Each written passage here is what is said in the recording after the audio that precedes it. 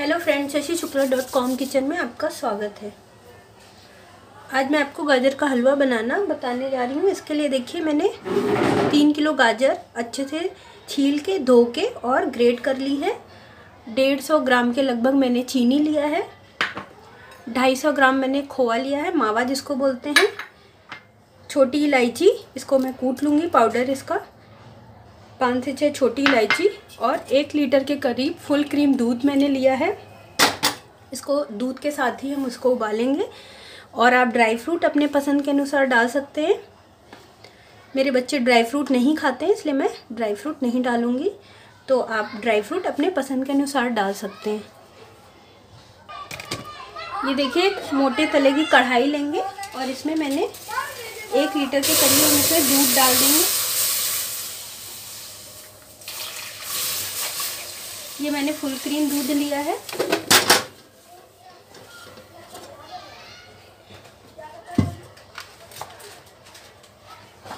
और ये हम इसमें अपनी गाजर डाल देंगे, जो हमने ग्रेट की हुई थी। ये देखिए, गाजर को हमने कढ़ाई में डाल दिया है और इसको हम अब पकाएँगे।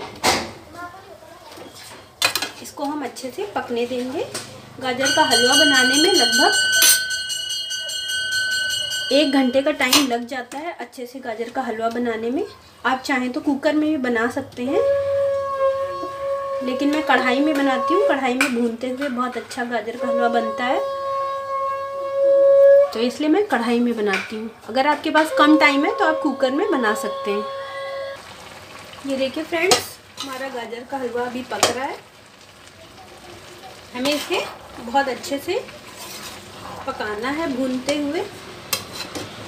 अभी हमारा गाजर आधा रिड्यूस हुआ है, अभी ये और आधा रिड्यूस हो जाएगा।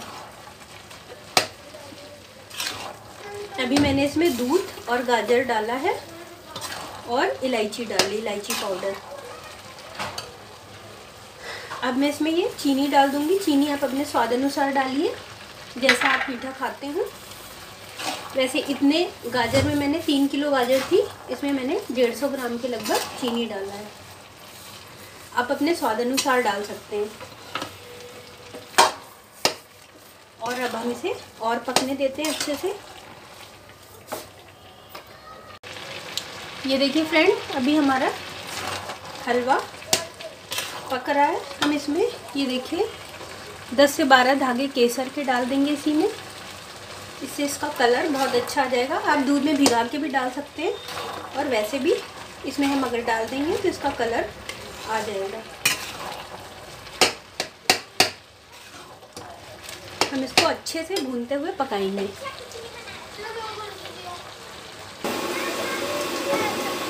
ये देखिए फ्रेंड अब हम इस स्टेज पे इसमें अपना खोआ या मावा जो भी है वो डाल देंगे। जो भी आप बोलते हैं वो खोआ, मावा, मैं थोड़ा सा बचा के रखूँगी गार्निशिंग के लिए। बाकी सारा डाल दूँगी। क्योंकि मैंने कोई ड्राई फ्रूट नहीं यूज़ किया, इसलिए मैं गार्निशिंग के लिए मावा बचा के रख रही हूँ। और इसको अब हम बहुत अच्छे से हमें इसको भूनना है। अगर आपके पास लोहे की बड़ी कढ़ाई है तो आप लोहे की कढ़ाई में बनाइए या फिर स्टील की कढ़ाई में। एलुमिनियम हमारे लिए हार्मफुल होता है सेहत के लिए, लेकिन मेरे पास बड़ी कढ़ाई है नहीं, इसलिए मैंने एलमिनियम में बना लिया है। अगर आपके पास हो स्टील की तो आप उसमें बनाइए। स्टील या लोहे की लोहे की ज़्यादा बेटर होती है। बनने के बाद आप खाली ज़रूर कर लीजिएगा। अब हमें इसको बहुत अच्छे से भूनना है। अब थोड़ा ज़्यादा मेहनत का काम है, नहीं जलने लगेगा और इसको छोड़ना नहीं है। अब इसको भूनते रहना, अच्छे से चलाते हुए। फ्रेंड अब अब देखिए, इसको हम दबा के देखेंगे। जब तक पानी ऐसे अगर इसमें निकल रहा है, तब तक हम इसे भूनेंगे। हमें इसको बहुत अच्छे से अब भूनना है। इसमें हमें टाइम लगेगा। ये देखिए, दबाने से ये पानी आ रहा है। ये पानी नहीं आना चाहिए। हलवा बन जाने की पहचान यही है। अगर पानी इसमें बिल्कुल ना रहे, ये बिल्कुल घी छोड़ देगा हलवा भूनते भूनते तब तक हमें इसे भूनना है। क्योंकि हमने इसमें खोया डाला है तो वो घी छोड़ देगा भूनने के बाद। तो अभी हमें इसको और भूनना है अच्छे से। अभी देखिए, अभी भी थोड़ा सा पानी ये छोड़ रहा है। अभी हमें इसे और भूनना है।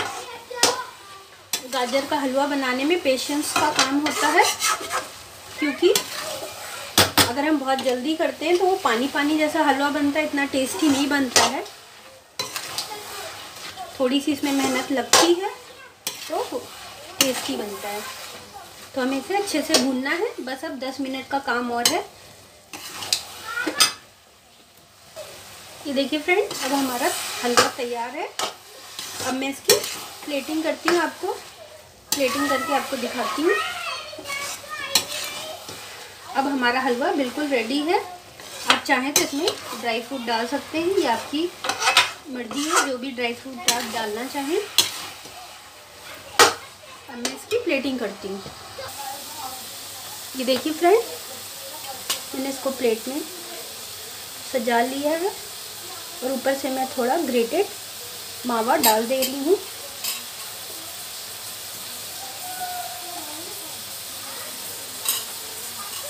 ये देखिए, हमारा गाजर का हलवा तैयार है फ्रेंड।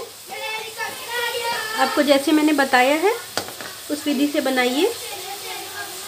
थोड़ा टाइम ज़रूर लगता है, लेकिन बहुत ही टेस्टी बनता है। तो फ्रेंड आपको मेरी गाजर के हलवे की रेसिपी पसंद आई है तो लाइक करिए शेयर करिए सब्सक्राइब करिए। और कमेंट करिए। मैं आपको ये वीडियो बहुत दिनों बाद दे रही हूँ। इसके लिए सॉरी मिलते हैं फ्रेंड्स नेक्स्ट वीडियो में। तब तक के लिए बाय